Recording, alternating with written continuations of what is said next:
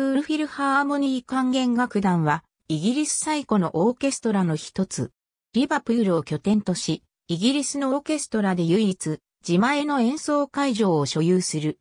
本拠地のフィルハーモニーホールは、とりわけ優秀なアコースティックに恵まれ、数々の録音に利用されている。ロイヤル・リバプールフィルハーモニー管弦楽団は、楽団の創設以来、マックス・ブルッフ、ヘンリー・ウッド、マルコム・サージェント、チャールズ・グローブズ、ジョン・プリチャードといった指揮者が主席指揮者を務めてきた。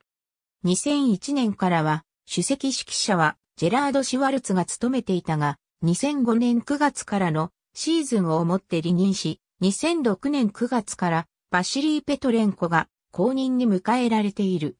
シュワルツの前任指揮者、リボール・ペシェクは警官指揮者にバーノン・ハンドリーは名誉指揮者に任命されている。常任客演指揮者はカール・デイビスが務めている。国内外での演奏活動のほか、FM 放送でラジオ番組にも出演している。1998年に自主レーベルを設立2003年からクラシコレコーズにも録音を開始している。